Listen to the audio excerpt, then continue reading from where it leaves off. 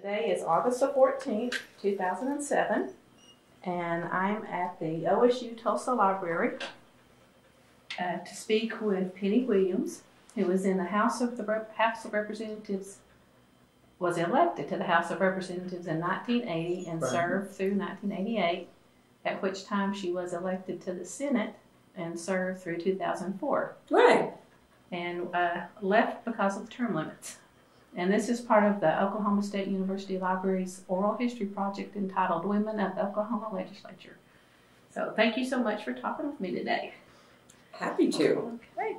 Our first uh, a little bit of information to take care of is tell us a little bit about your childhood, where you were born, and how you came to be in Oklahoma.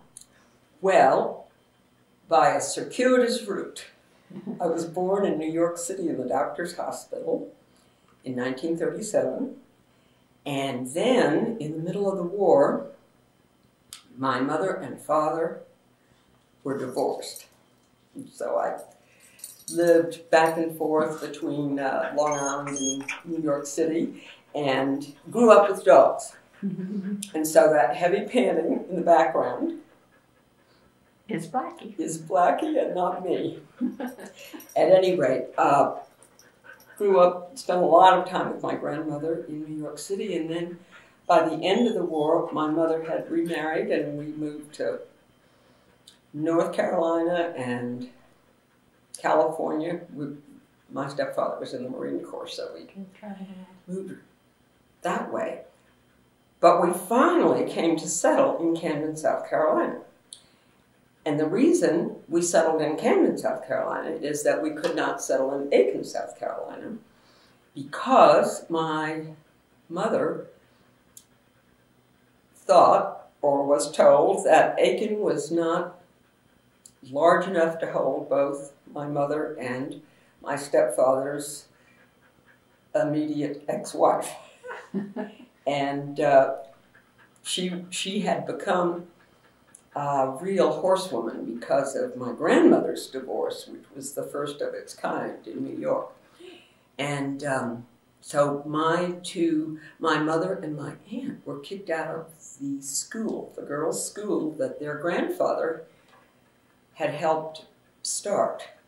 He Because was a co-founder, and they were kicked out of the school because uh, my grandmother divorced and she had five children, and that was just unheard of in those days. And so my two, so the two girls were shipped off to boarding school in Aiken, South Carolina, and my mother always said that was the making of her life because she fell in love with horses and riding, and um, just became the passion of her life. And she rode for lots of different people. She was in the first ladies' race, and so I grew up with this woman and her scrapbook. And that was probably the most romantic thing in my childhood was that scrapbook of all these pictures of her in the newspapers all over the place. But it was a great growing up. We grew up in Camden, South Carolina. I went to school there as a um, kind of a like a something between a very small rural school and homeschool because we finally uh, left the public system and went to a Calvert system that was used by the missionaries who were going to Africa. This is out of Baltimore, Maryland. And it was a wonderful system, and um, it was a small school that adopted this system. And so we all went to this school, those of us who lived in my neighborhood. So we walked to school, and it was just, it was really a wonderful growing up with horses and dogs and friends who were mostly boys and I was a tomboy. And then finally, I did go off to boarding school to St. Catherine's uh, in the ninth grade. In South Carolina? Mhm. I'm sorry. We still lived in South Carolina. In fact, always that's always home. Okay. Um, but this is in Richmond, Virginia. So I went off to school uh, for four years and then went to Sarah Lawrence College and started um, going to dove shoots with my husband to be, who also lived in Camden but was quite a bit older. He was at Yale University and we started going out in New York and Connecticut. Um, eventually, I just left Sarah Lawrence and got married, and uh, went came. That's when I first came to Oklahoma with my husband, and uh, we first lived at Fort Sill in the fifties. It was actually fifty-seven that we uh, settled in Fort Sill, our first home. 50 years ago. Isn't that amazing? 50 years ago. Oh my gosh. It does it seems like yesterday sometimes. We the only fight we had initially was over whether we would take Lightning with us. Lightning was a pointer dog. And my husband really didn't want to take him, but my parents thought he was too old and we needed we needed a dog and so Lightning came out west with us. And because uh, we drove from South Carolina with this pointer dog, and my husband was grousing but accepting. And um, at one point, we let Lightning out of the car, and Lightning wouldn't come back. And finally, my husband found this dog pointing a covey of quail near the highway. So then he became part of the family He's from his on. job.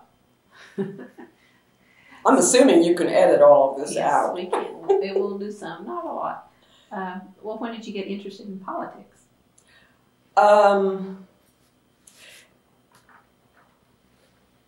very late in life.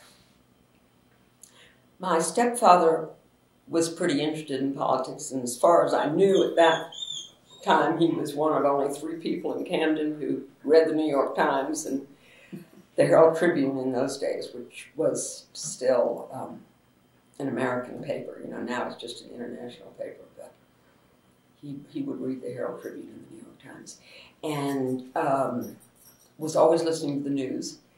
And so I got a little bit interested in wanting to get to know my stepfather better because he was so avidly. I think I became most interested in politics when my husband, after the army left left uh, left the army after two years. We lived in Germany and had our first son over there, and he then went to work for a pipeline company, and we were sent to Iran.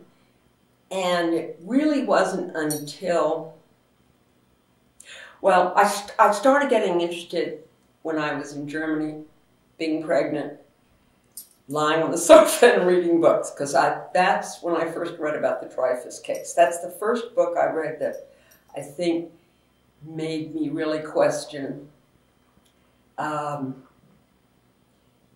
the way I thought things were internationally compared to the way they probably were.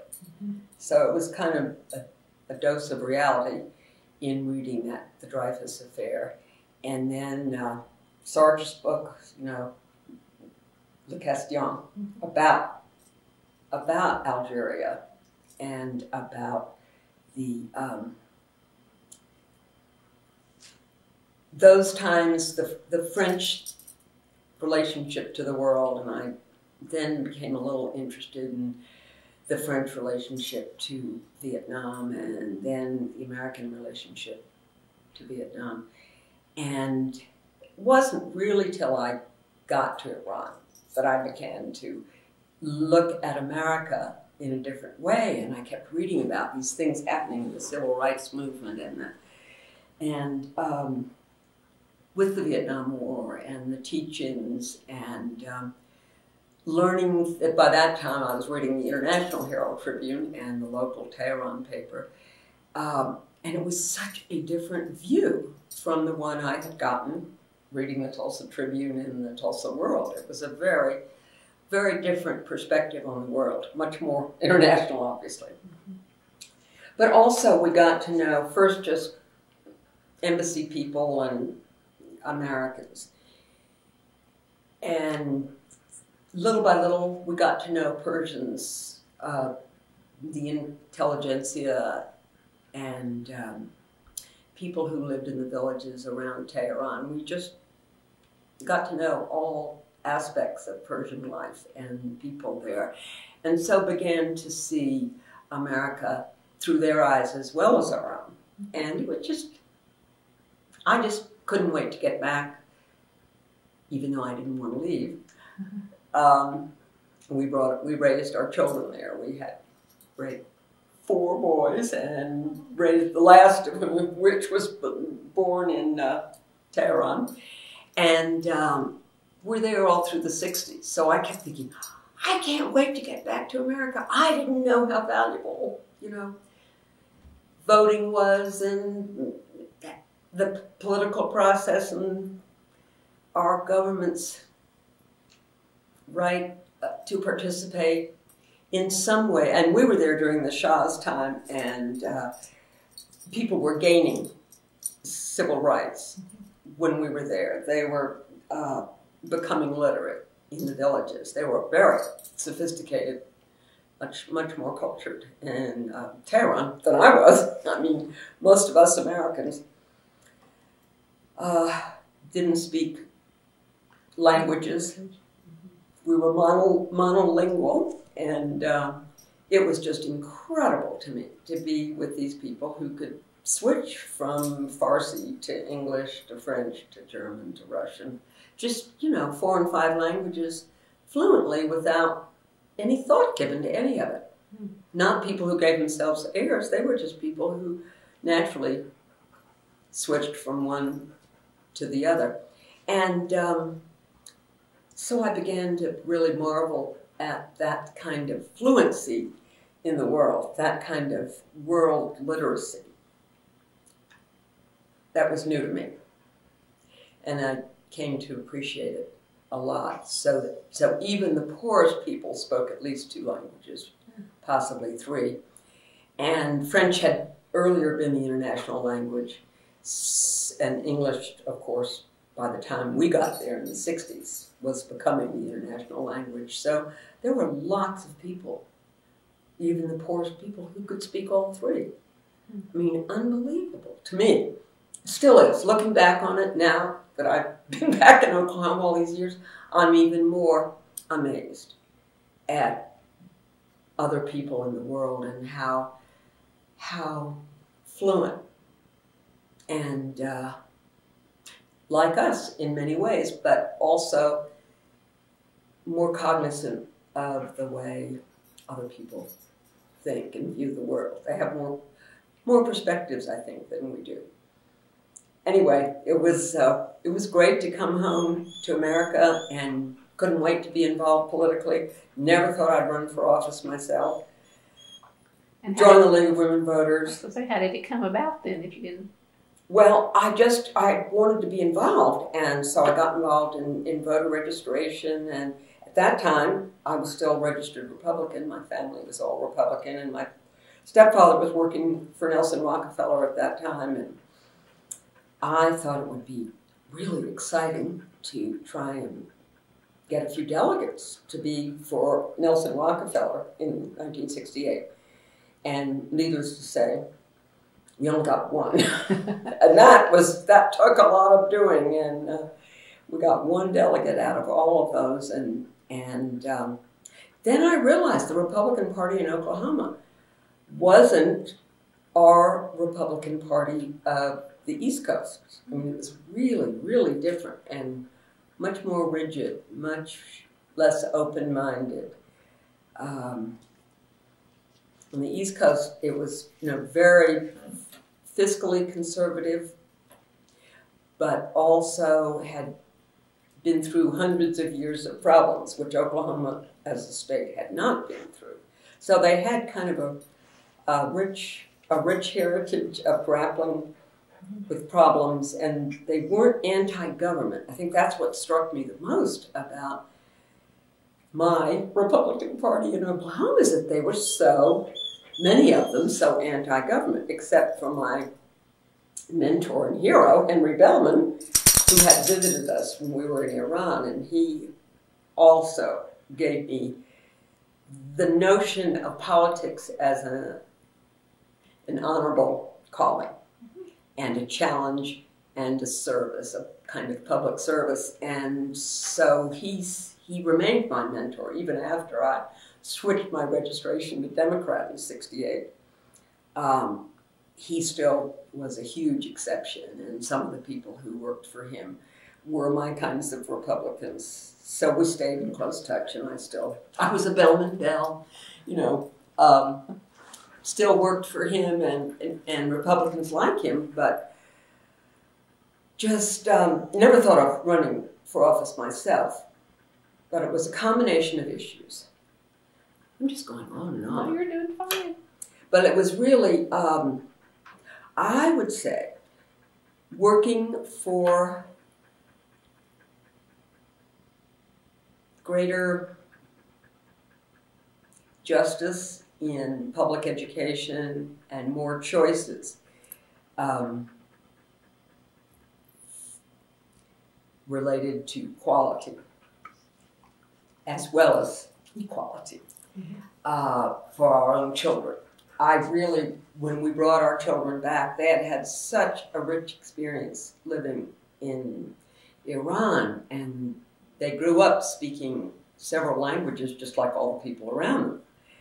And so they came back to um, a monoculture for sure, mm-hmm. wonderful, convenient, comfortable, but not challenging. It was just not nothing. I mean, we never had air conditioning in Iran. They even had air conditioned cars in Tulsa. I couldn't believe it. we lived at the Mayo Hotel before we bought a house, and it was so amazing going from air conditioned hotel to air conditioned car, and but we also had television. We never had television in Iran, so we could actually watch, you know, what was going on. So I became really involved in watching politics, and soon got involved in local politics, Jim Jones campaign, mostly it was um, initially nonpartisan, League of Women Voters, voter registration, working on the north side. Go ahead, I'll let you no, talk. I just blathered on. Tell a little bit about your first campaign then. Well, that really started, in one sense, with the nonpartisan League of Women Voters. We, as a league, um, had gone through this whole time of uh, school integration and working for the Equal Rights Amendment. Those, those were the, the main two issues, education reform and, and equal rights, pushing for the Equal Rights Amendment, along with all these other organizations, Business and Professional Women and American Association of University Women. Um, all of these groups were in a coalition, and so I got to know some of the Oklahoma City people and people from elsewhere in the state because we would meet at this little library in Stroud, have monthly meetings about um, this agenda education and equal rights. And I started getting to know the legislature because we were given assignments. People, people like Cleta uh, worked with us and um, told us who the really tough legislators were but who the possible ones were who were open minded enough, who cared about equal rights and civil rights, had cared about civil rights um, in the 60s, and surely would support uh, equal rights for women in the, in the 70s. You know, it seemed so amazing to me that you could walk into a court of law and not be treated equally. As a woman? As a woman. I mean, that just still, it still blows my mind. The Equal Rights Amendment was 27 words long. And I didn't even know what it was, but Henry Bellmon and David Boren were co chairmen of this committee called OKERA. And I thought, well, that's a snap. Of course we'll pass the Equal Rights Amendment if we have this bipartisan leadership for the Equal Rights Amendment. They chaired this committee, and I was asked to be on it. And so I really got to know people, not just through the coalition of working with the League of Women Voters, but also some of the individuals who were very political, like Cleta, and knew exactly who, who was a possible supporter. So, and it was really those those two issues that got me down to the legislature. So I got down there. Whoa, I could do this. Little did I know. But I thought, you know, these are just people like you and me. These are people who who bring forth concerns of voters in their district, and they're they're pretty ordinary. It was really not until I served in the legislature that I got to appreciate how extraordinary many of them that there really were. Some of them I disagreed with, but there were just some extraordinary people at the legislature. It was a great privilege to serve. But I, I really ran the first time because of my um, my own representative, who was a Republican, and I had supported him because we were working on these two issues of ed education improvement and um, equal rights amendment passage. And he strongly supported both of those things and, you know, had bills to that effect. And um, his name is Paul Brunton. And so I got to know the legislature to some degree through him.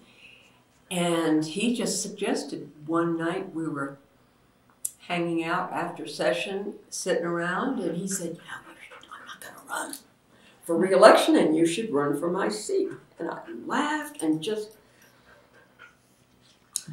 It is the first time I ever thought of running for office, and I put it out of my mind quickly. But it kept kind of coming back subconsciously. Um, I kept thinking about it. And, you know, it's different, I think, with men. Many men just think, sure, I could do that. I really didn't. I thought, oh, God, I could never do that. And then people said, yeah, but your children have all grown, they've all left, you're not taking care of children this year. You could run in 1980 because they were all off in school. And uh, yeah, I guess I could, but it just took me ages. And it was really through two of my best friends, Norma Eagleton and Patty Eaton, that I got my consciousness raised and got my nerve up. Because we had worked together, we had worked to uh, elect Norma Eagleton to the first voting position a woman had ever held um, at that time in Tulsa, we had a city commission, not not a council. We had a city commission, and you were elected at large, and there were five commissioners, and uh, so Norma was elected to finance commission. She was the finance commissioner, and it was quite a um, quite a race.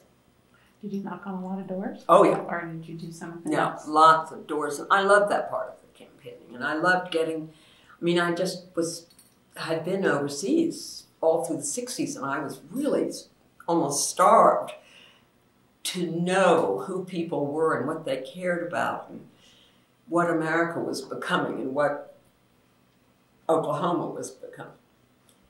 Because I always, I always um, have thought of America as a, as a kind of um, an idea as much as a place. This promise of America, this promise of the common commonweal, a place that is acting for the public good. Um, and so I had very idealistic notions that didn't go away, even with all the cynicism over the Vietnam War and other issues when I was living in Iran. People still loved America. They may, they may not have loved Lyndon Johnson or Richard Nixon, but they loved the American people and the American ideas, the American notions mm -hmm. of freedom and fair play and um, democratic republic, not a pure democracy. Um, somehow we have promoted that uh, unwisely, just pure democracy overseas. And I think we've gone from one extreme to another as we've supported regimes overseas. Either, you know, the pure dictatorship, but they're for us, and uh, or pure democracy, however it ends up. And if it ends up with, you know, Hamas winning a popular election among Palestinians, and we don't like the result, then we turn our backs on it. So we say we're for democracy, but then we don't really like the results. It, it was easier when we had all those dictators, I think, for America to operate overseas. I mean, at least that's how we um, gathered allies, was dealing with dictators we knew we could deal with. And, but that's another story. Well, you're not interested in that right now. Uh, what, what was your first day that you were sworn in like? Did you remember? We had, um, I do, because I hadn't thought anything about being elected. I had only thought about whether I could win or not. And um, it, I was in a district that was very Republican, even though it was very independent. It was a district that had the University of Tulsa in it, and I was working at the University of Tulsa at the time I left my job to run for the legislature. And so really knew a lot of people living around that area, as well as people all over the district. And I knew that even though the registration and the voting was pretty Republican, it was also, um, could be a swing district. Wasn't necessarily a Republican district, and Democrats had sort of written it off as being a Republican district just because we'd always had Republicans representing us, including Frank Keating, who had, um, you know, who was a governor, who became a governor later. Um, so once election day came, and to my great surprise, I really was elected, I knew it was only because of the hard work of so many people and that getting to know people one at a time. I mean, it's a kind of thing you never can really do in larger race, but in a house district, 30,000 people uh, might have been, yeah, it was about 30,000. You can actually do that. I mean, in five months' time, four months' time, you can actually knock doors and meet people and communicate with them, the ones you missed, by phone. So I really did get to know the district pretty well, but mostly I think it was other people vouching for me. They knew me, and we worked together on school integration or uh, education reform of one kind or another. And at lots of levels, I think I was just incredibly lucky to know people in every precinct. So it was a pretty personal election. Nonetheless, I'm I didn't think I'd win. So I didn't think about the legislature at all. So boom, all of a sudden I won, and then I started getting these phone calls. We have to be over there tomorrow. You know, we have a Democratic caucus. Oh, what? And I had to switch gears so quickly. I, I thought, well, surely there's a day of rest. No. it was, it, we all barreled over there, and this is where the Equal Rights Amendment came in because we barreled over there, went and drove across the turnpike, with this friend of mine, Don McCorkle, who had a great big van. And so all of us who were Democrats all barreled into this van and sped across the turnpike for our first, for my first Democratic caucus. So to elect us Speaker of the House. Well, Cleta had introduced me to Dan Draper, and so obviously, and he was strongly for the Equal Rights Amendment. So I was, you know, Dan Draper supporters, so we could all vote for him as our speaker. So that wasn't, so that was almost like um, a no-brainer, being able to support someone. And where was your office, your first office? And and actually, that was with another guy. Um, on the third floor, which is where all the research people worked, there was a little suite of offices down there. So it was just great access to the education staff. Uh, most of the legislators were up on the fourth and fifth floors, but there were some of us who were freshmen who got to be down on the third floor, next to the staff and next to the education committee chairman. It was. Um, I am. I am thinking. If my memory is failing me, I'm glad you can edit this because two years earlier, we had all elected representatives who would vote for Dan Draper. So it, so it may have been 78 that Dan became Speaker instead of 80. Um, but we all we all supported him, and we all in working for the Equal Rights Amendment. Um, Cleta had introduced us all, and we all that was part of our overall strategy to support him. And uh, so that is, I'm going to have to look that up. That is a week late. Well, we can look too. well, do you remember presenting your first bill? I remember asking my first questions. And, You know, we were told as freshmen just kind of lie low your first your first year, just learn the lay of the land, and, and that did take me two years just to learn which direction the Capitol went, which door I walked out of, which you know, the east, west, north, and south. I was always getting confused. The building kept turning around, and I do remember my first question, and there were. Speaking of women, there were five of us women who got elected from Tulsa County. All that in that 1980? Mm-hmm. Okay. And Joan Hastings, Republican, and Helen Arnold, Republican, had already been in the legislature. But there were three new Democrats. So we had a total, it was our all time high, a total of five women legislators in the House from Tulsa. And Aline Baker and Twyla Mason and I were the three new ones. And uh, we all, except for Joan Hastings, we all supported the Equal Rights Amendment. Helen Arnold was an ardent supporter of the Equal Rights Amendment. At any rate, there we were, we women, sitting in this committee um, on uh, the judiciary. We actually were on the subcommittee, uh, juvenile justice. That was my interest, was policy for young people.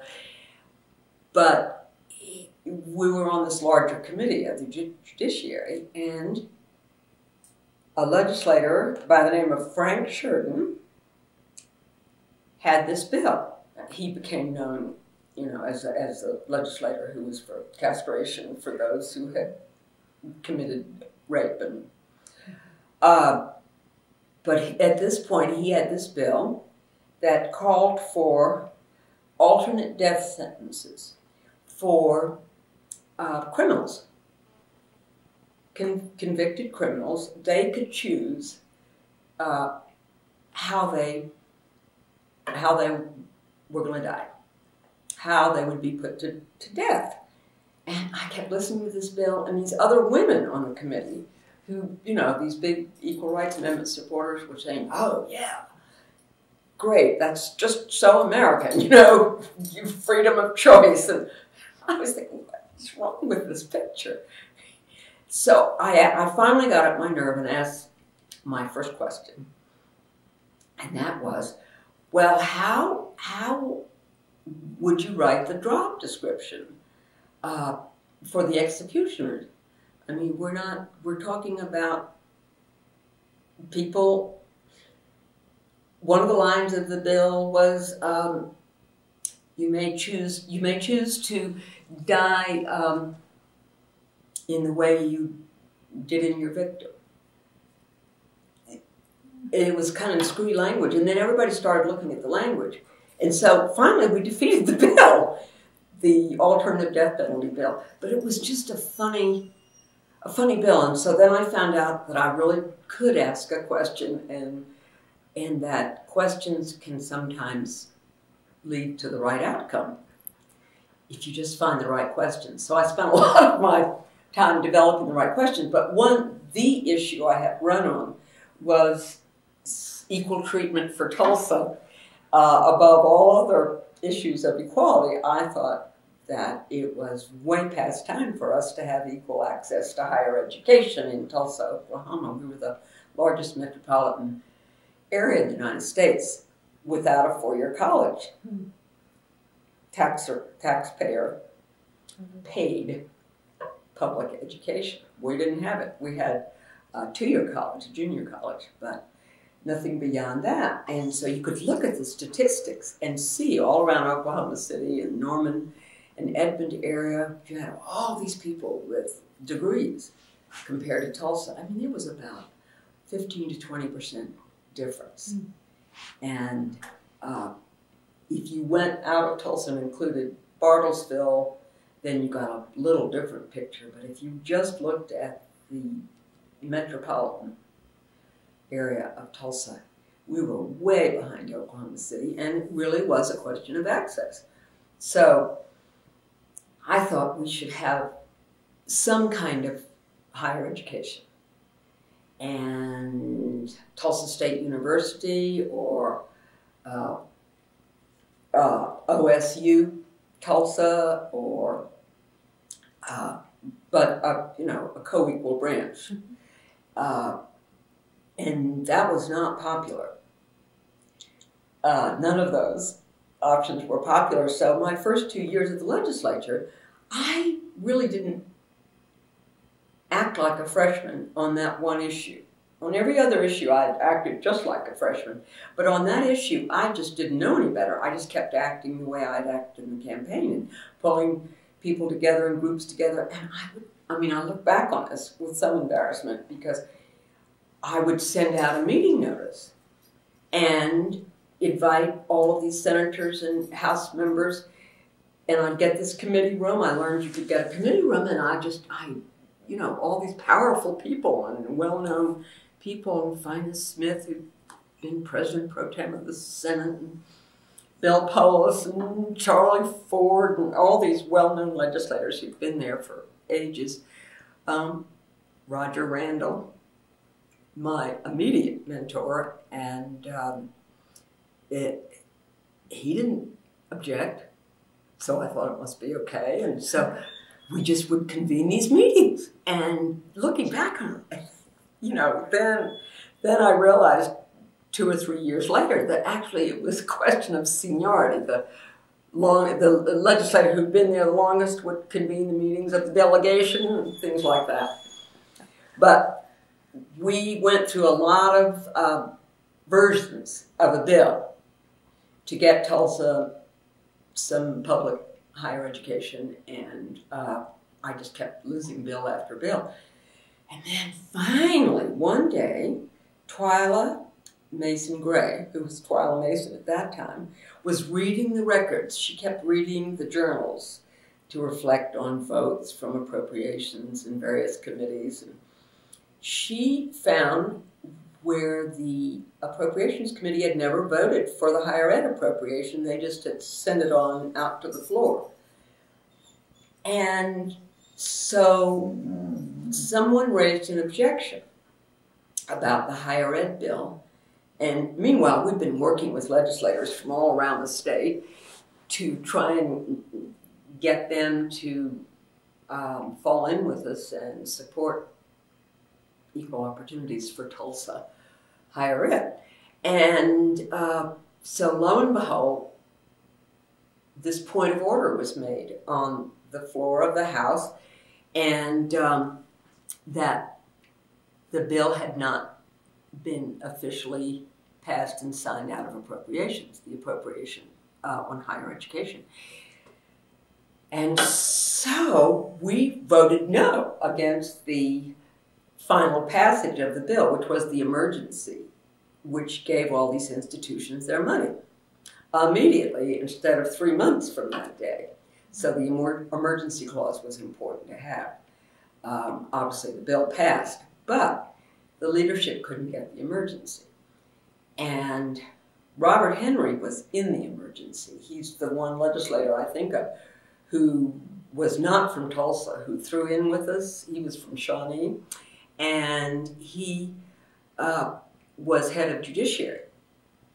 And so he was threatened with his chairmanship and said he needed to change his vote. And then he got more and more adamant and outraged. And so we had a, just this horrible stalemate. And we all, we Republicans and Democrats, met in the office of uh, our Transportation Committee Chairman, Bob Hopkins. He was the only one from Tulsa who had a large enough office for us to meet in. And we would sit around the room and thinking, what'll be our next move? And we had held up the whole legislature and made the speaker look very weak and but we couldn't budge, we couldn't break ranks. And finally, one of our number was a Republican, said, I think maybe it's time to go uh, take Dan Draper a peace offering and have a little talk with him after session. I don't know, take on a bottle of whiskey or something. And so that was Jim Forrester from Tulsa. So we said, okay, give it a try, see what comes of it. And he was right. Dan Draper was ready to um, compromise. But he was from Stillwater, so OSU would have been fine, but the former speaker, Bill Willis from Tahlequah, with Northeastern down there, apparently was going to veto that idea. And so they kept thinking, what can they give Tulsa that's not too much, but that gets, gets through? And we actually came up with this idea of a consortium.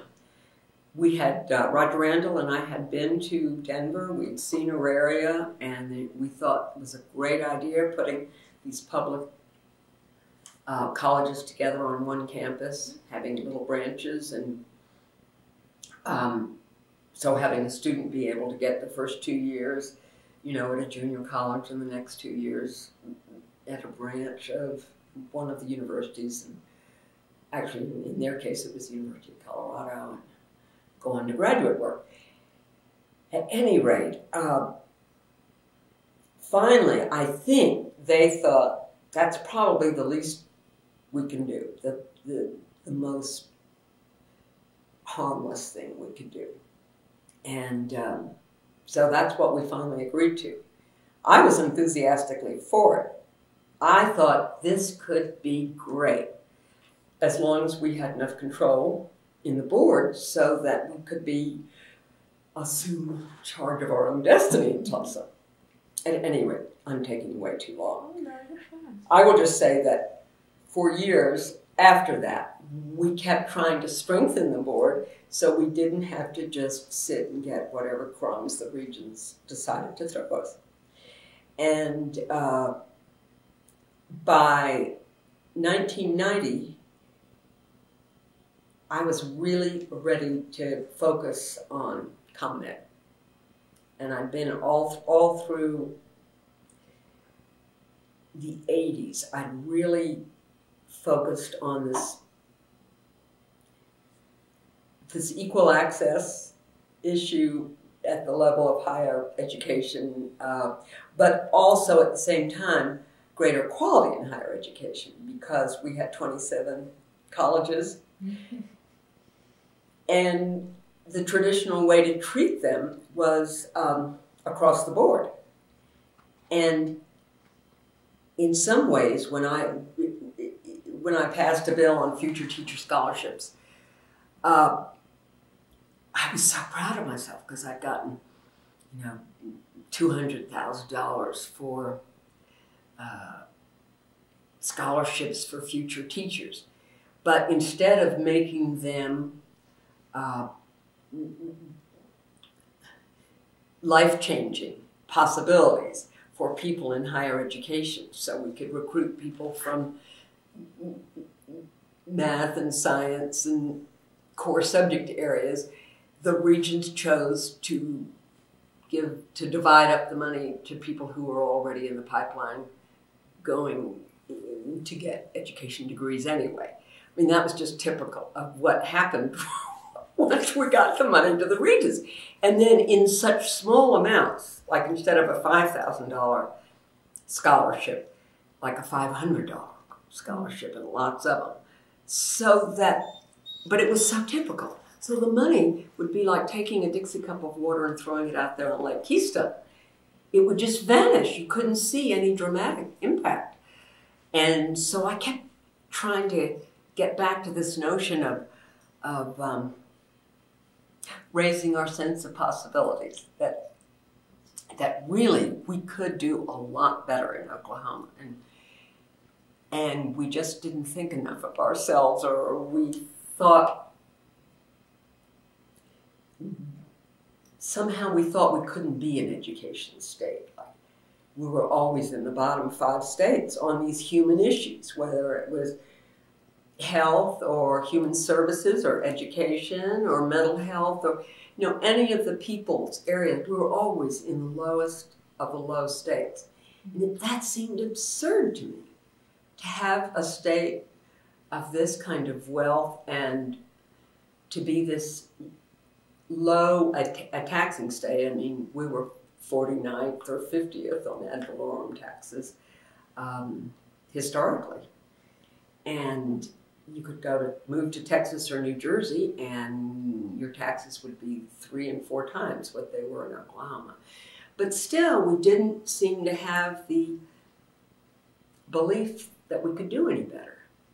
Uh, so we just became this sort of frustrating exercise. And the only way I finally learned it was too hard to take on the system it was just too hard to reform the system, so my strategy was to create models.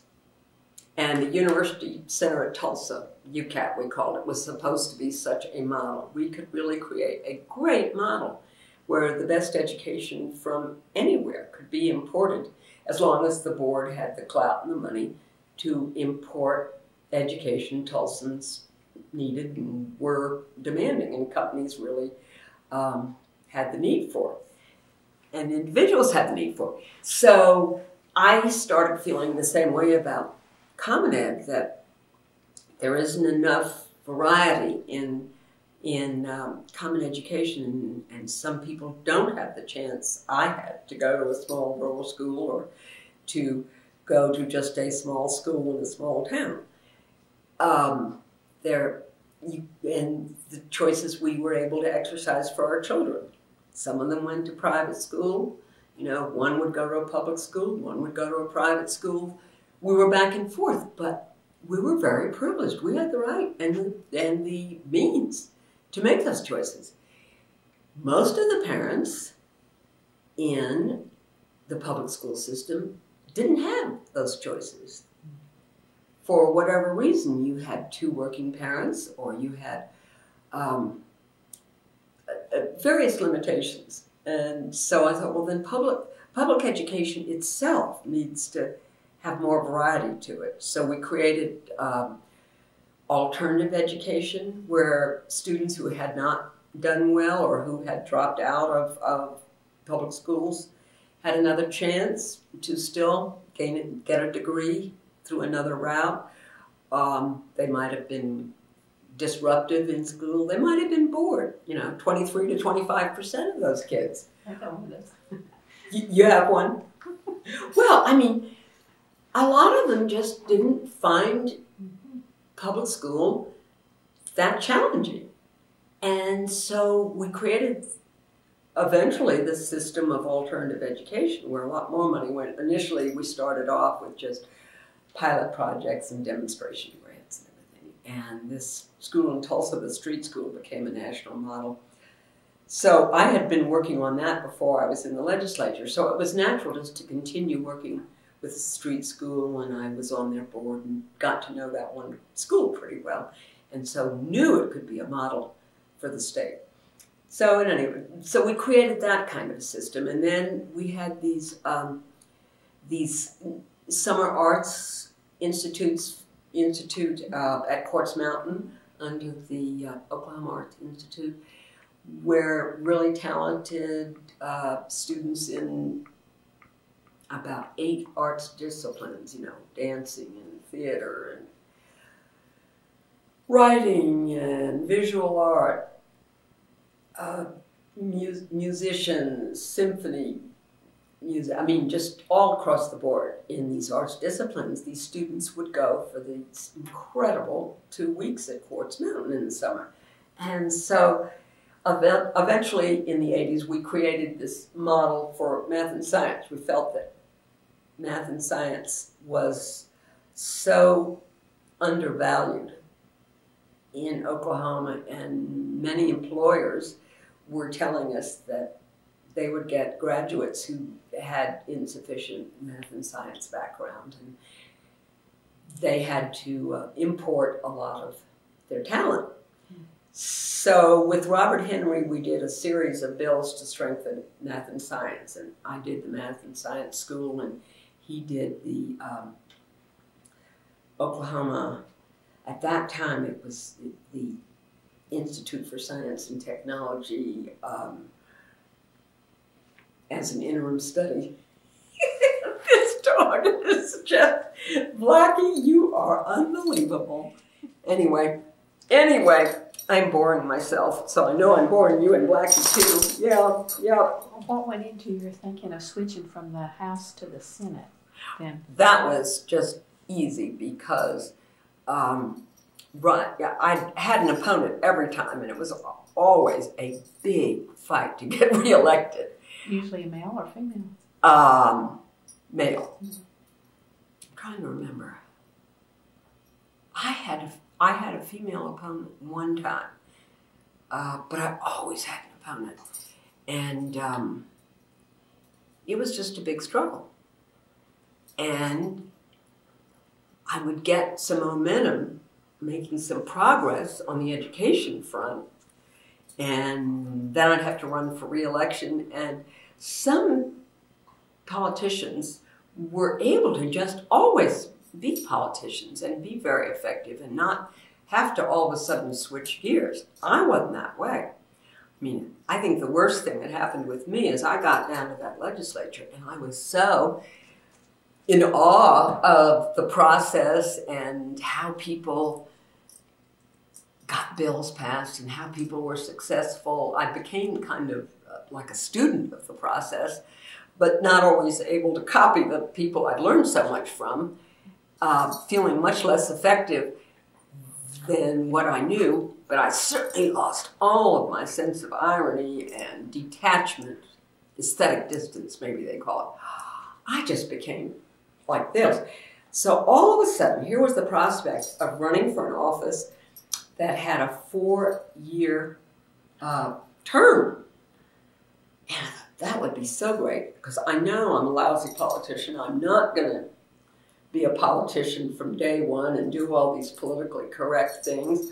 I'm just not going to do that.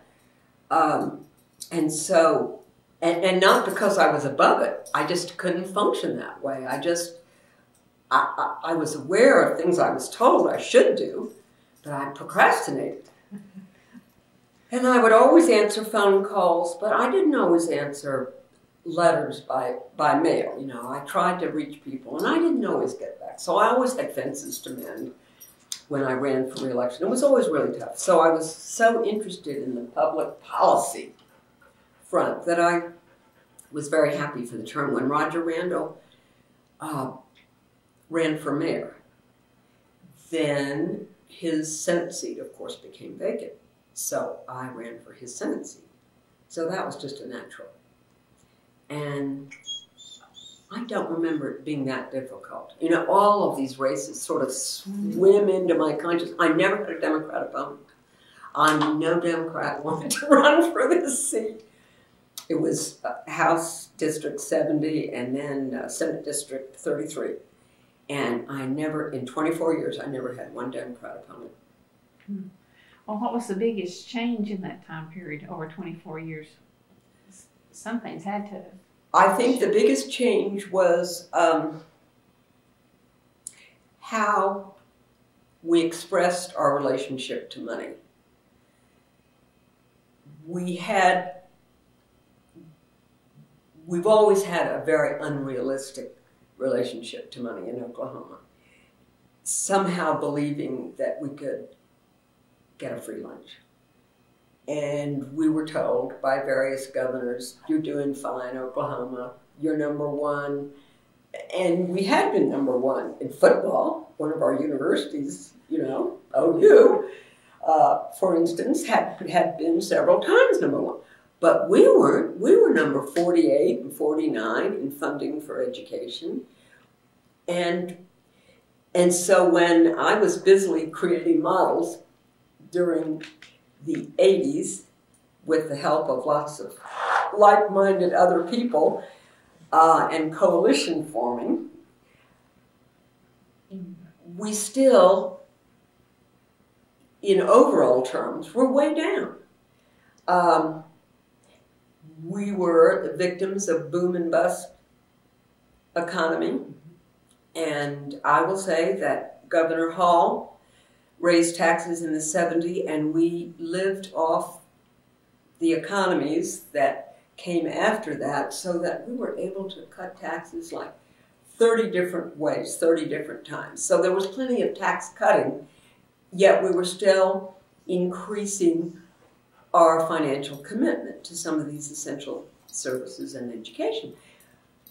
But then when the bust cycle came, because we had never, through the 70s, we never did rebates. We never did temporary, you know, we never cushioned the shock of uh, the oil industry, the oil, the price of, of oil going down. We never prepared ourselves for that. We didn't do any long range planning. So the bust really got us in, I would say, 80, 82, 83, just at the time we were trying to get the state to make an additional commitment to higher ed in Tulsa, we started suffering this bust and oil prices plummeting. And that was such a huge part of our state budget. And so we had to increase taxes, and still we didn't increase them enough.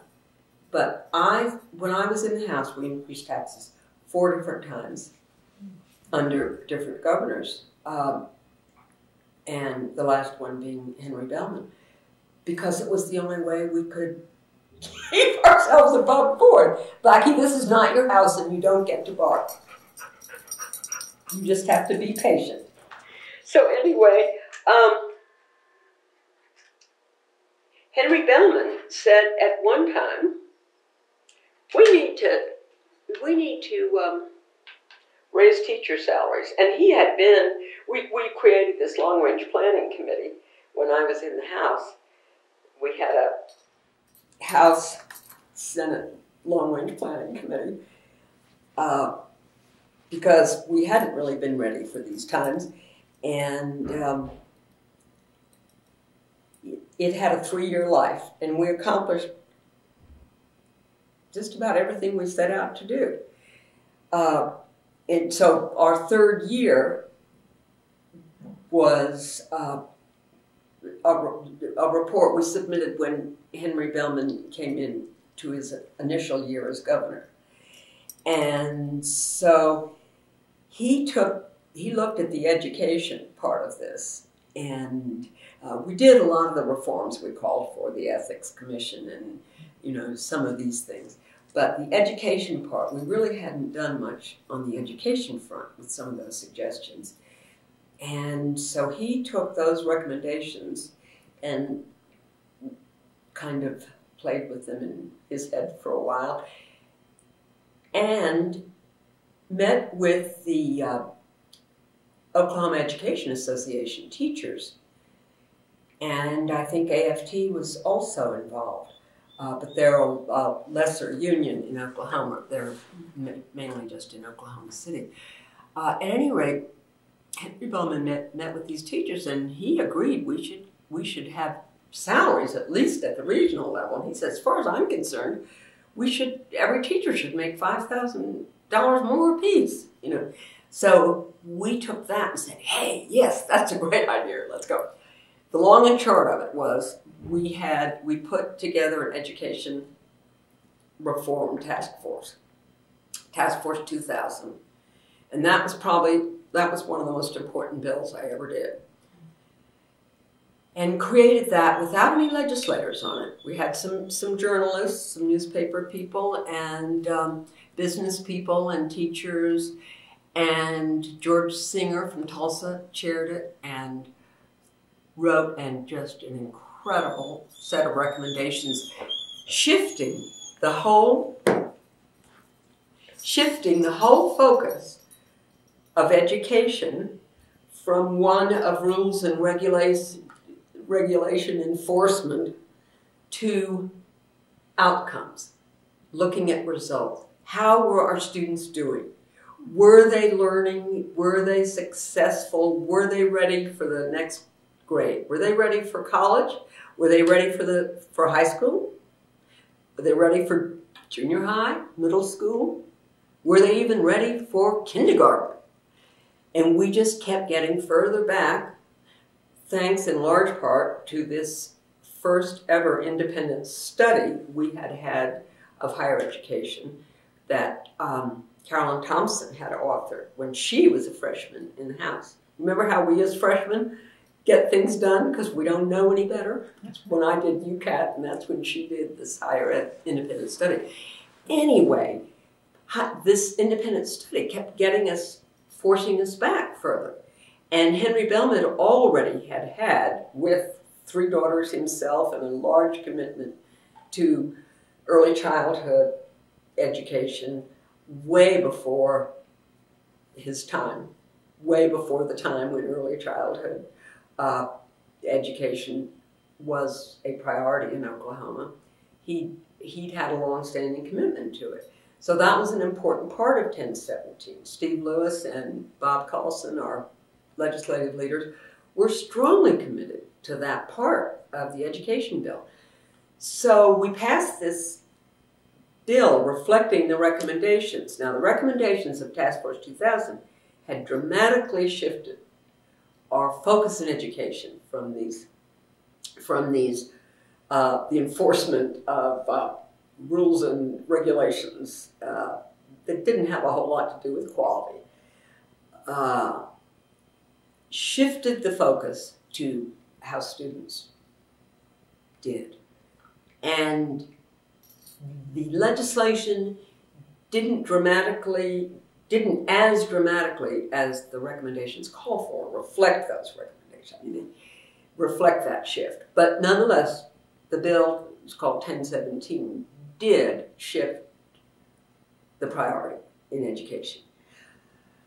The problem is we didn't repeal enough education law. And so we still have this huge book of education law that all of our dollars at the State Department, 500 employees strong, was bent on enforcing. So it was very hard to open windows and doors and make changes to this cumbersome system that didn't always prepare students for college. I will tell you one thing. I do remember when I was uh, a freshman and wrote to the state superintendent at the time and said, shouldn't we be distributing uh, this new report, what students need to know and be able to do to be ready for college? Shouldn't we be uh, distributing this to the schools? And he said, no, that's, that's not necessary. I think I still have that correspondence.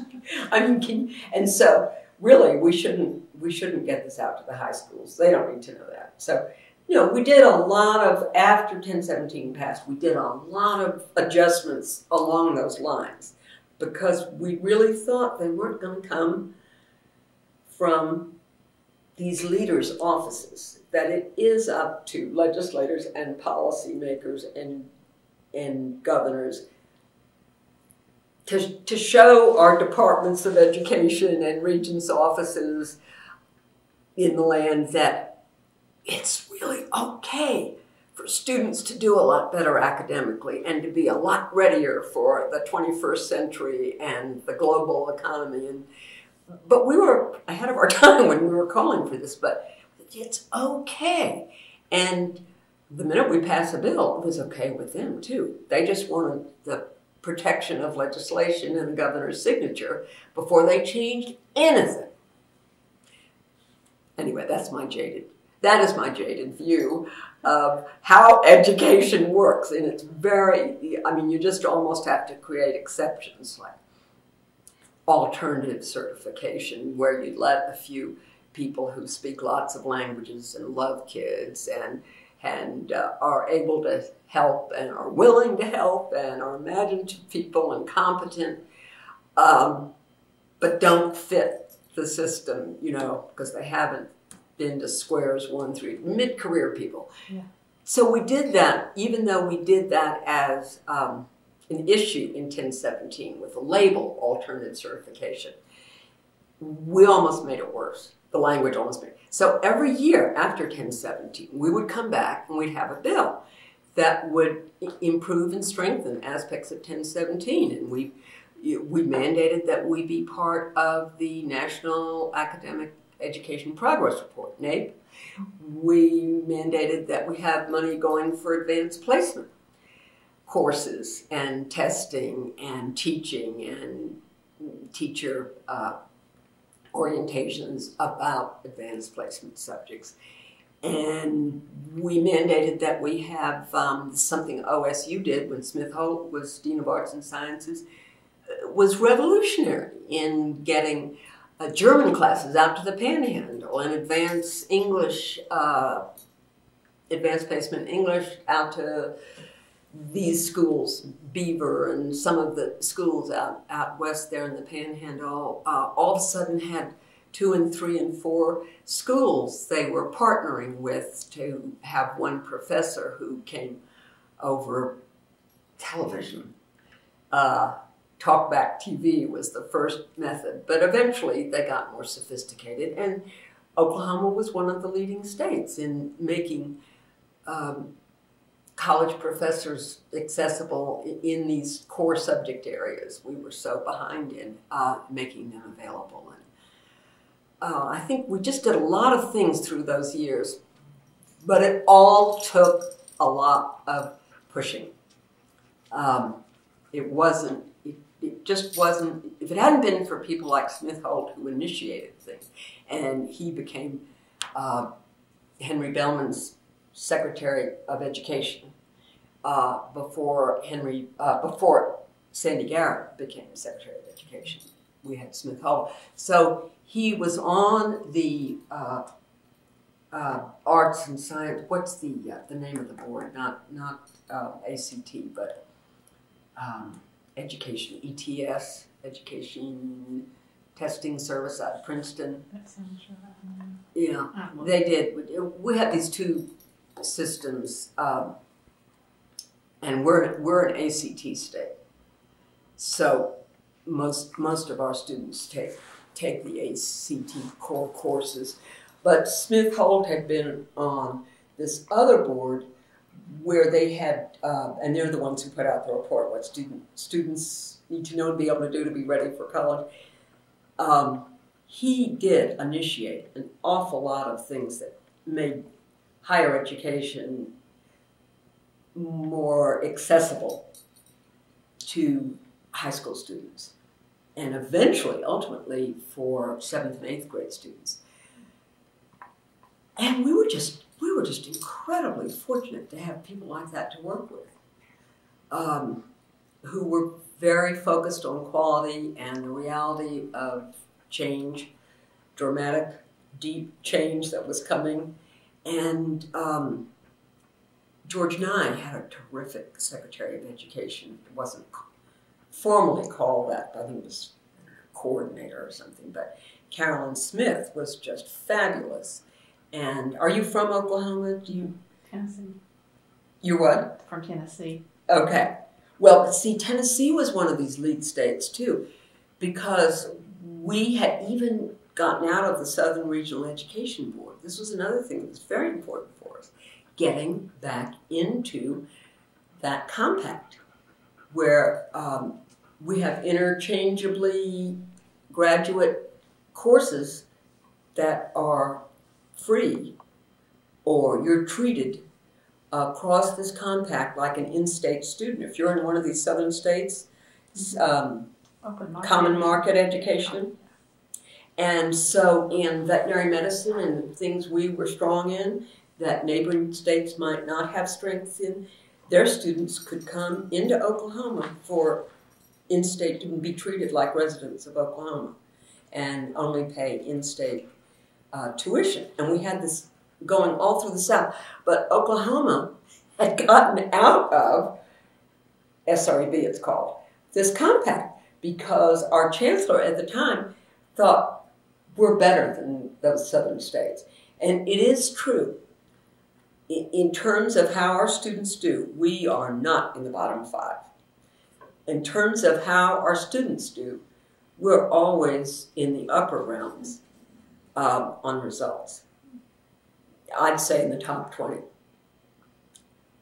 But in terms of the money we put into education and invest in our students, we're always in the bottom five. But you were talking about what changed. I'm sorry, I went so far astray. Um, what really changed was this relationship that Oklahomans, this unrealistic relationship Oklahomans have had to money. Because this cult of um, it's almost uh, like a, a, a, religion. No taxes or lower taxes. And, and the people who had been part of the state before started gaining the upper hand, little by little by little. That drumbeat of no new taxes and tax cuts and this kind of thinking that this is what wins elections. Um, combined with the reaction against the 80s when we raised taxes four times and then passed this education improvement investment because we passed the money to pay for these improvements to education, lowering class size and those kinds of things. Um, a group formed that was anti uh, legislator that was anti taxes, anti government, you know, uh, anti services, and especially letting legislators struggle and agonize over priorities and what should be invested in and what should not be. So we had this uh, state question, oh, maybe it was 69 um, I'm not sure about the number. So it was a state question that said no taxes without a vote of the people. You know, unless the legislature overwhelmingly, like three fifths of the legislature would support such a thing. Um, we couldn't we couldn't raise taxes without a vote of the people, and uh, at that same time, they had a vote to repeal the taxes we had raised for education in 1017. And so we had a repeal fight on our hands in 90. So we passed 1017 in 1990. So we had to um, mount a campaign to vote no on repealing 1017. So as far as I know, we were certainly the only state in the South, maybe the only state, but the only state in the South, which now numbers 16 states, we're the only state in the South to actually vote on um, taxes to, to invest in improving education. And we voted no, not to repeal 1017. But it was a tough fight, and it was a, you know, it was a very hard vote. And then right after that, the next vote was to uh, make it impossible for the legislature ever again to vote for taxes just by a simple majority in an emergency clause. And then um, another vote was to limit legislative terms. So people um, could not be reelected after they'd served 12 years. I'd been there for a while once that passed, and so I actually got to stay 24 when it went into effect. Uh, but this has become almost um, like a like a religion, not not to tax ourselves.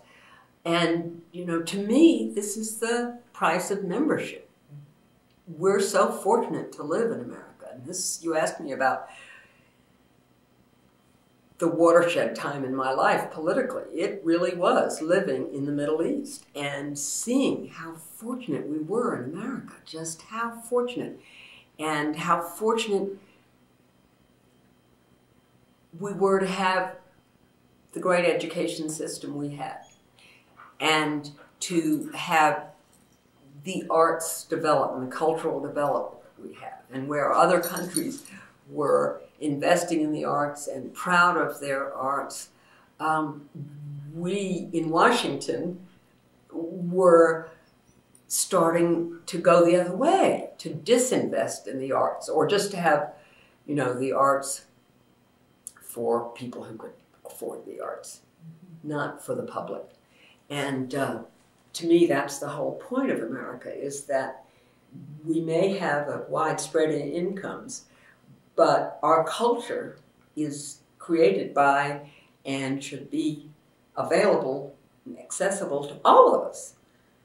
You know, not just those rarefied few who can afford to go to and keep an art museum going, or we'd never, we'd never have our culture. We would just have, we would just have um, artisans working for the moneyed classes and we went beyond that. That was the experiment of America a long time ago, was to have this accessible education for, for all. And, and they meant what they said back in those days. And I think uh, Governor Riley of South Carolina, when he was Secretary of Education in Washington under Bill Clinton, he meant what he said. You know, all means all. It's all of our children. And they're going to be paying our Social Security in our generation, and at least at least we haven't done in Oklahoma what we did nationally. We haven't borrowed from our grandchildren. Not yet. Not yet. But I will say this. On the other hand, we haven't invested in them either. You know, we passed a bill called No Child Left Behind, and I was passionately for that notion. Had had been all through the 70s and 80s when Marian Wright Edelman and Hillary Clinton, who was the governor's wife at the time in Arkansas, um, she was on that board when they called for leaving no child behind and made this pledge of no child left behind. And then when George Bush came and took that that goal and you know made a motto of it, I th- I was wildly enthusiastic. I thought this is this is the commitment we need we've needed and a bipartisan legislation, but then we didn't fund it. So when you have we fund partially funded it, but to really have to really leave no child behind, we really have to do what the bill says and to fund the bill. Well, Congress didn't do that. They didn't fully fund it, but they mandated everything, so we, the states, have to pay for everything or just we just get to grass about it. Uh, and and then we go off on these wars. I won't say these wars. I'll say the Iraq War, the invasion of Iraq, because that is what has really uh, raised the debt and raised the deficit, and we never paid for it out of out of our own money. Republican principles of, of pay as you go, forget that. It's an Oklahoma principle but it is not a national principle anymore. That is out the window. It's the most extravagant caper I've ever seen. And it's at the expense of your grandchildren and my grandchildren because they're going to have to pay for it at the same time they are being given this debt. We're saying no to investing them. We will not pay for more health insurance for them. We will not fully fund No Child Left Behind.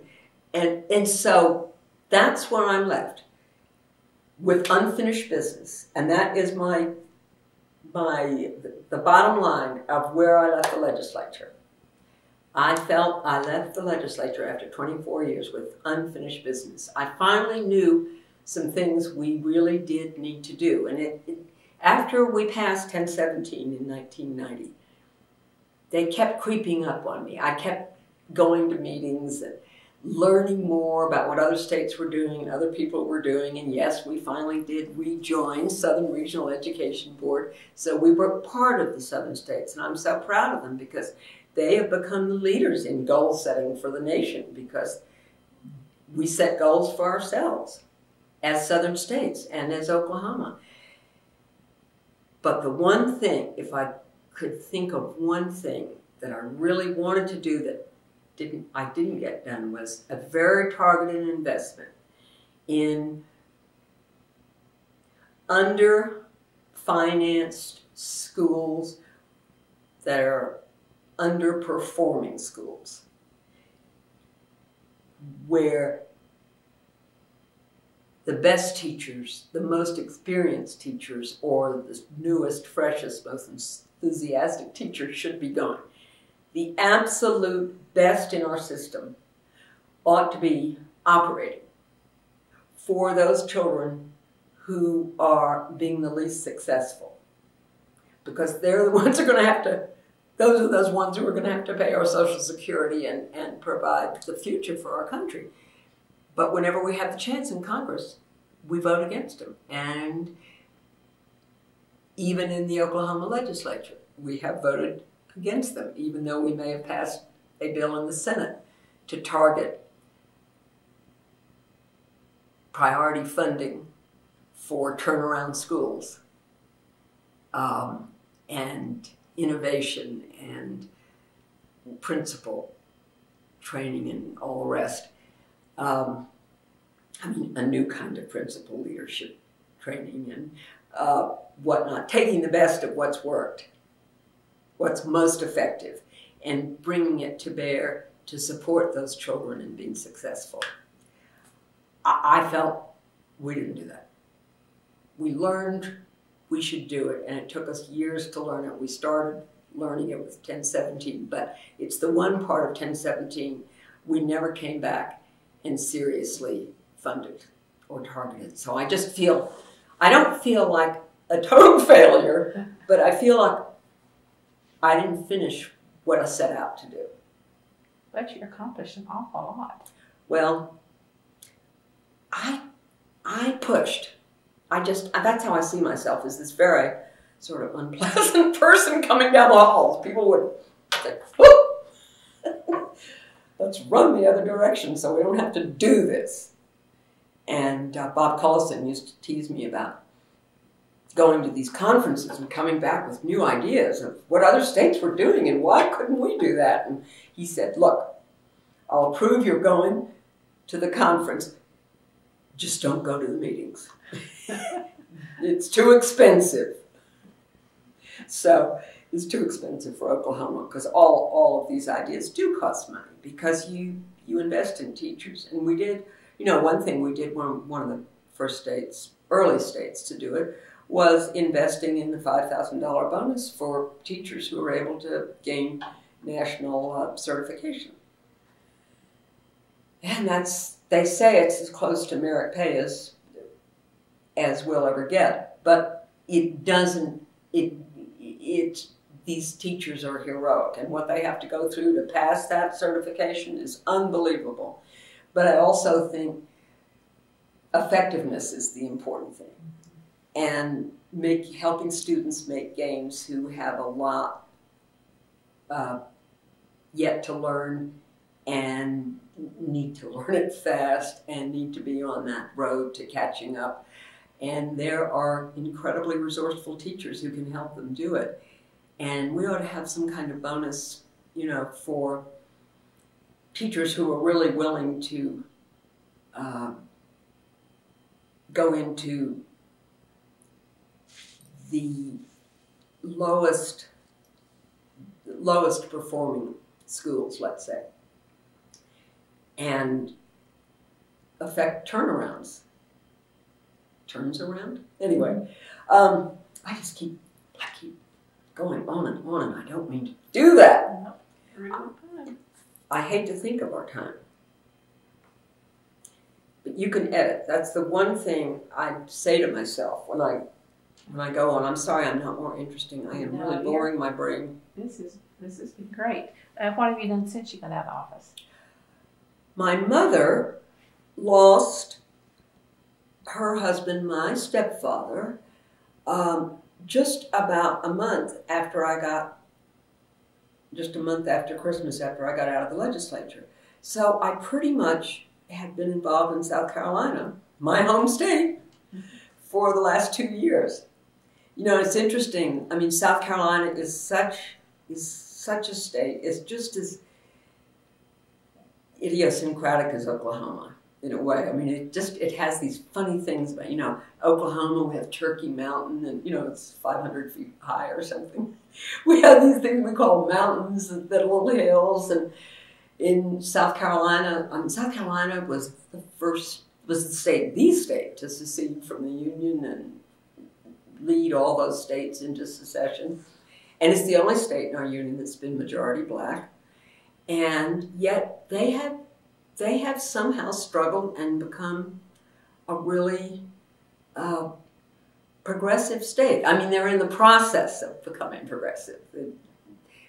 Especially were they progressive when Governor Riley was the governor.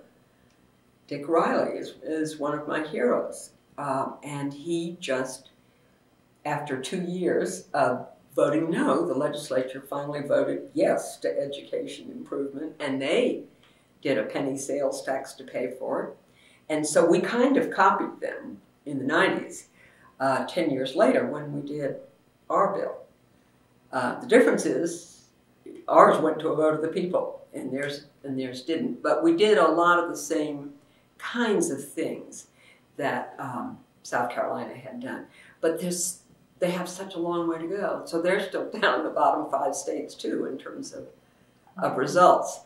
But I got I spent a lot of time in South Carolina for the last two years, and so I see I see how similar we are in our strivings and in our difficulties in the difficulties to overcome. It's really been amazing, and um, my mother lived for two more years, and so that was just an incredible time, an opportunity that I had to be able to be with her, not having to be in legislative session, be with her and her prized dog I brought back to Oklahoma. Yes. And um, and now I'm home from South Carolina um, and expecting one new grandchild in Tennessee. My oldest son lives in Tennessee, and I have one grandson, and we'll gain another one here shortly. And then I have two grandchildren who were moving today from Montana to Colorado, where my other son Peter lives in Boulder, Colorado. And so now I will have two sons in Boulder, Colorado, nice. and their families. So this will be a much easier commute than Montana. So that so Colorado will become my other state, and Tennessee will become my other state instead of South Carolina. Well, is there anything I need to ask that I haven't, or that we haven't covered? Oh, As a as a group of women, the five from Tulsa, did Yeah. you guys stay tight when you were there? Or- on Tulsa issues always. Um, on the Equal Rights Amendment, um, Joan Hastings, you know what, didn't support the Equal Rights Amendment, but the four of us did. Um, Did you live in the same place, or did you? I mean, we Like share a- no, share we lived in different in different places, and um, in actuality, I think I did live at one time in the same complex. Uh, Helen Arnold lived in, but different parts of the complex, so we didn't really know each other. And Norma Eagleton was there on the Corporation Commission, and she lived in that complex. But all three of us lived in, in different parts of it. Did you notice different treatment between men and women early on? And that had A lot, and and that is where um, numbers do matter. I I didn't believe that, but I learned it. in the legislature. And so that when you get um, a number of committee members who are women, there's a lot we can do, especially if we're from different ends of the ideological or political spectrum. If we agree on an issue, um, it's hard to stop us. Uh, I can think of some issues where we got run over, you know, like, I don't know, the, the uh, gun carry law, you know, Concealed weapons. concealed weapons law and uh, capital punishment, corporal punishment. You know, sometimes we would just get run over, but a lot of times we'd be together on on some of these civilizing issues. They used to call them the 19th century. Some of these uh, issues that tend toward the problem solving end of things instead of the uh, immediate, swift We were, sword. we were managed, managed to do the breast cancer Breast- too. Breast cancer, we did, um, and Betty Boyd, when she was in the legislature, she and I did a number of bills together, and it was so great having her. Uh, we did the um, anti-genetic, anti-discrimination in genetic background for employment and insurance, and now the federal government is um, on the verge of passing a bill that's very much like the bill we passed in Oklahoma.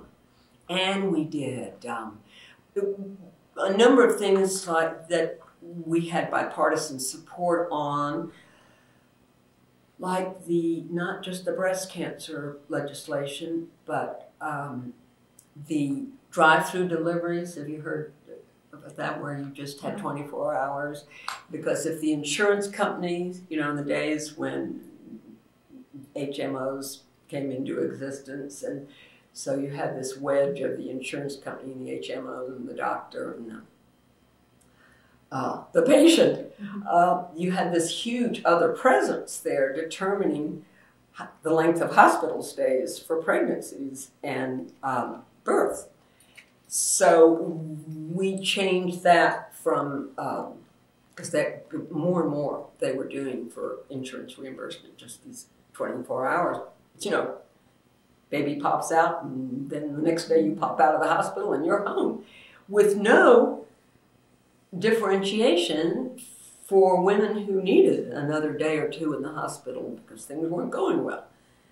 And then they couldn't get reimbursed if they stayed. And so that was, and I will say that even, even the insurance lobbyists agreed with us on that one. I just know that there were some under, off camera who who were sympathetic and didn't really fight it out of the open. And so we were able to pass Republicans and Democrats acting together.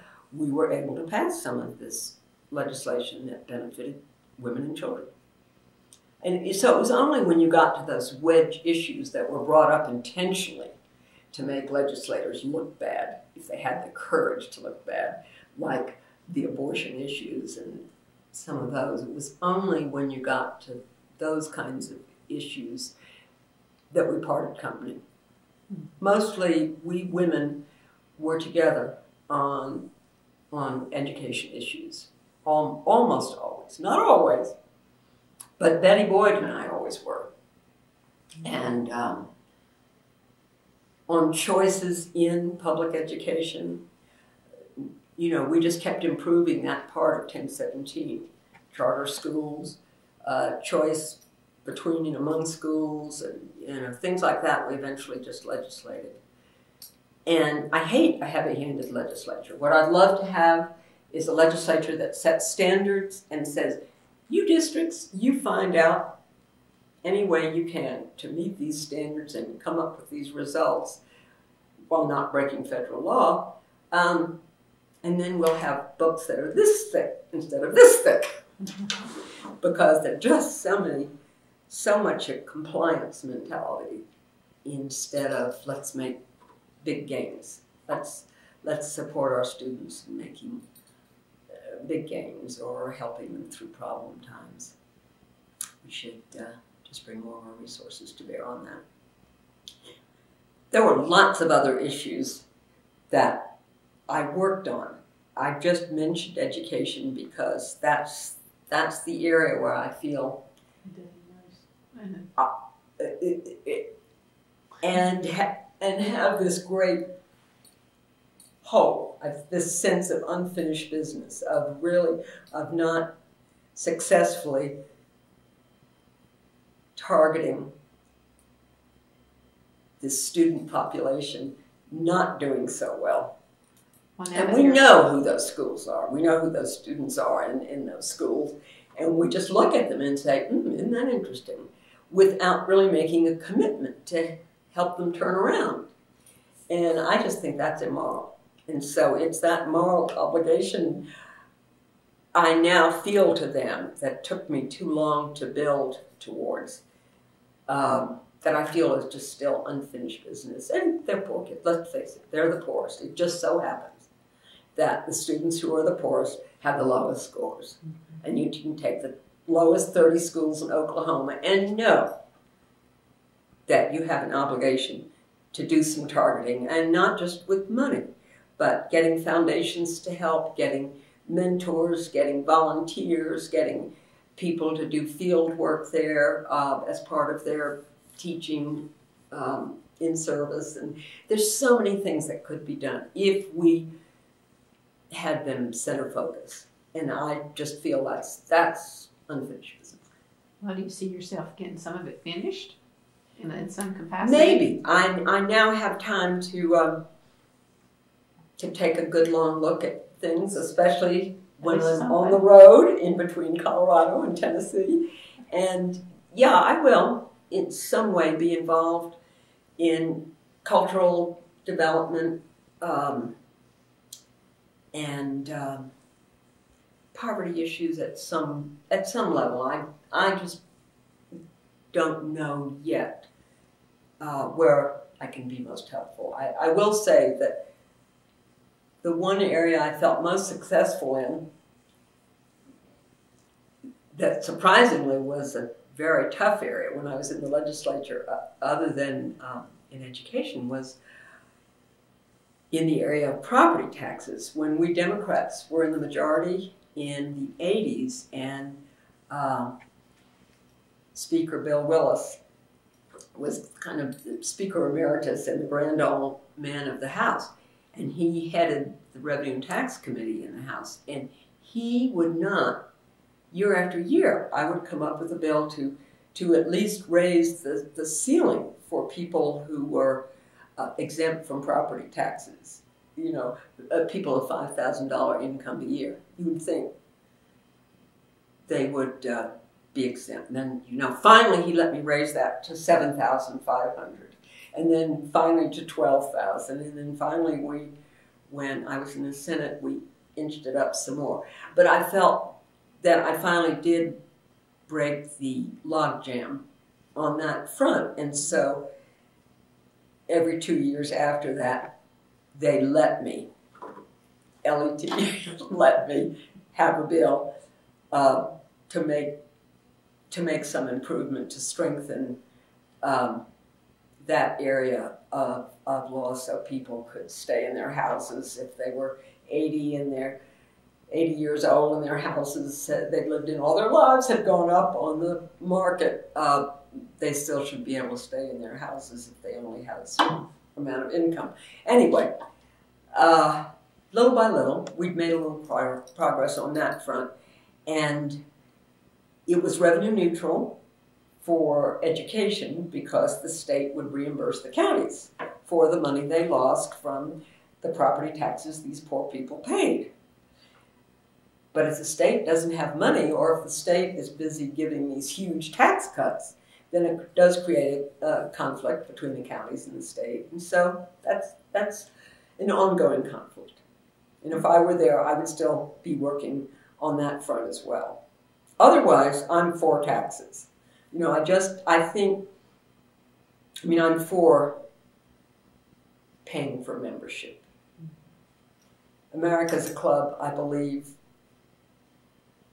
in belonging to, and that I believe we pay dues to, and that we all have that obligation. And so, and not putting things off, and not paying for them, and saying, "Oh, our grandchildren will pay for them. We'll just borrow the money." I, you know, I, if I were still there, I would be working along that front, and even even with agriculture and some of these things, I just think if, we thought more in terms of, of fairness to people who are not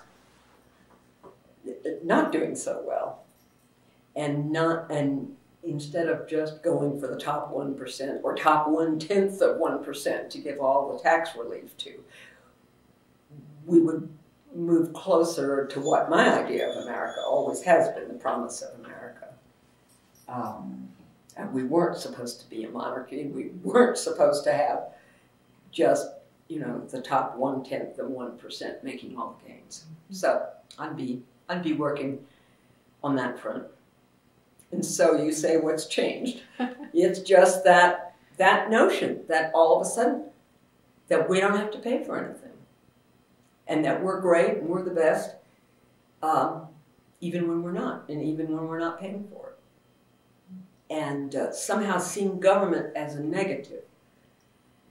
Government is is just us, just the roads we drive on, and the you know, paying for fire and emergency services and all those things we take for granted. And that's what I stopped taking for granted when I lived overseas and learned a little more about how lucky we were. Because you, you see in the Middle East, you see people who just don't have any, many of these things we have. Well, we need a few more of you. I doubt that, but to put but in, put in I think we need we need lots of people pushing for a progress and the common weal. And when I feel um, more hopeful, I'll be there with them. I, I'm, I'm feeling right now. I'm feeling old. Oh, I'm feeling old, and um, I feel there's a lot of work up ahead, but I haven't crossed that bridge yet. I'll let you know. okay. So, how about you? What What do you do at OSU? You're Are you with the library officially? I'm a librarian. We moved here in '96, and um, I was a social worker before that, and switched gears at midlife, and went into librarianship. My husband switched gears and went from computer science to geography. So he's, he's Wow. he's a professor at See that if I went back to school, that would be something I'd be interested in. And and I have known some geography teachers in the past from OSU. And that is a wonderful thing that we have here. And it started with that National Geographic Alliance. Mhm. And we have these teacher institutes and and they usually meet here, or they have met here. Now I see I haven't kept up with them the last three years.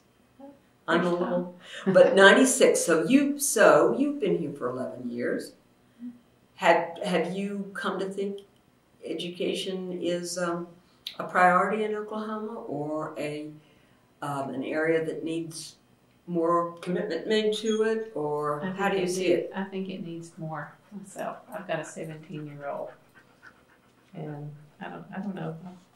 Coming from Tennessee, it's very similar. I think there's not a not a great deal of difference. I was went to uh, elementary school in North Carolina, yeah and so switching from North Carolina from the sixth grade into the seventh grade, the difference was amazing. I didn't have to study any, you know, for like three- isn't three that years. interesting see we had that great education leadership in north carolina for years 40 years before we ever started really thinking about it we had governor hodges and eventually governor james hunt jim hunt um, and i'm trying to think of there's one great governor in between and i don't even know who the governor is today but but that they just kept building.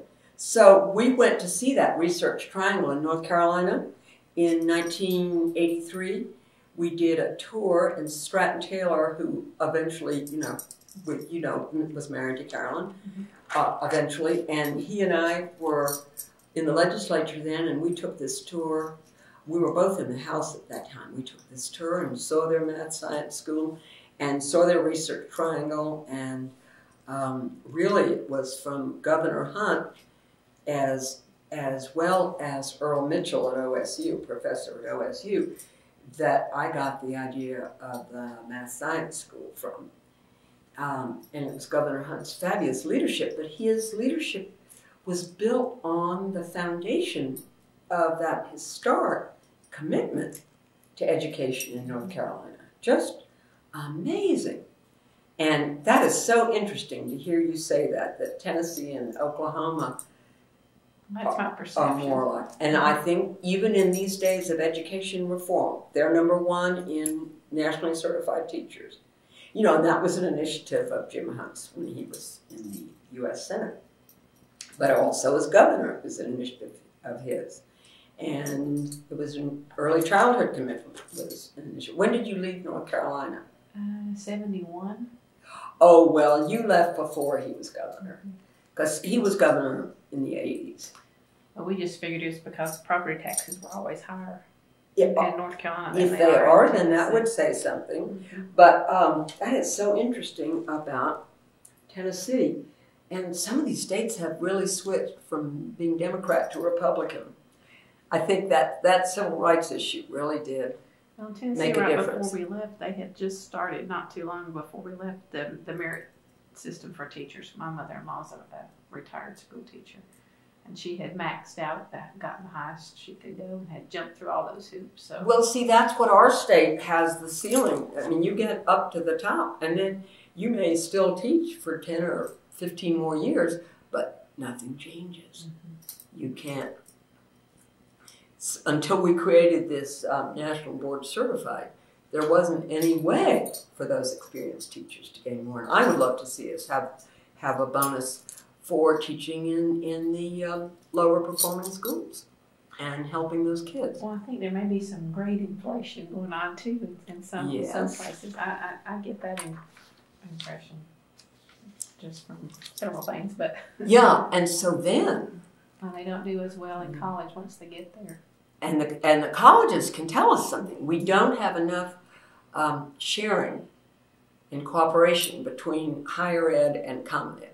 We need more between the superintendent's office and the regent's office, so that it's more of a seamless system, quote unquote. That's what one of those things we worked for to make 1017 more of a seamless effort, but we never got there. So under unfinished business, that's something else, so that um, there's more um, transparency at the common ed level so we can get extra help to the students who need it to get to college and then colleges get better prepared students. Well, at least now they have the right to try. Now that is something that that is um, and that is for high school students. And what what does it add to the high school curriculum? I don't know if it adds to the curriculum, but in the you could take a class in the summer at a college, and if you make a good enough grade, you can get into college. If your- Okay. If your GPA or your Yes. ACT score wasn't high enough to get you there Before. before. Okay, that is so. That is an improvement. What we had before was um, concurrent enrollment. So this is an improvement even beyond concurrent It's another, another option, I guess. Con- Concurrent's still going on. Yeah, no, but this is an add-on. This is good. Okay, don't when it came, but I, I think it's very. I think it was very recent, and and I think that was a regents initiated been- mm-hmm. change. And they have, I will say, ever since we did that independent higher ed study and we got a new chancellor, higher ed has been doing a lot more. Um, and that was under Henry Bellmon that we got two regents who were leaders. And then we got a majority of five who were leaders. That may have been one of his most important contributions as governor was to appoint those good regents. They're almost ready. I need to thank you for coming today. It was very, very nice having you here.